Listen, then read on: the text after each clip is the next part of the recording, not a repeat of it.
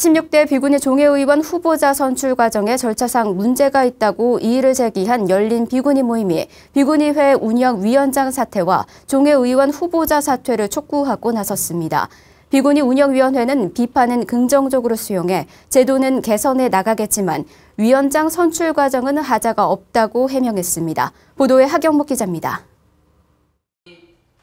열린 비군위 모임이 13일 오전 템플스테이 정보센터에서 기자회견을 열고 제16대 비군위 종회의원 선출 과정이 종훈종법에 위배됐다며 후보자 선출 무효화를 주장했습니다. 또 선출 과정에서 제척 사유에 해당하는 운영위원장이 비군위 종회의원 후보자 간선 선출 위원장으로 참여해 본인이 본인을 선출하는 총각을 벌였다며 운영위원장과 후보직 사퇴도 촉구했습니다.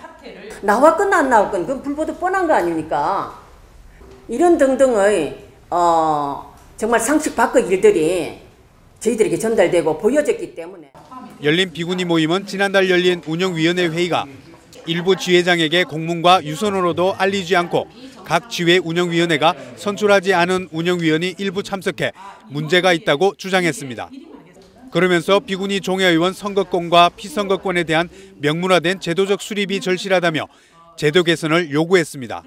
운영위원회에서의 독단적인 행보가 아, 전 비군이들의 소통을 막고 있는 그런 어, 행태로 보아지는 결과로 인해서 어, 저희들이 이것을 한 번쯤 어, 해결해 보고자 하는 그런 자리를 마련해서 비군위 운영위원회 위원장 개환 스님은 BTN과의 통화에서 비군위회에 대한 비판은 긍정적이며 운영위원회 회칙에 대한 미비점은 함께 논의해 보완해 나갈 것이라고 밝혔습니다.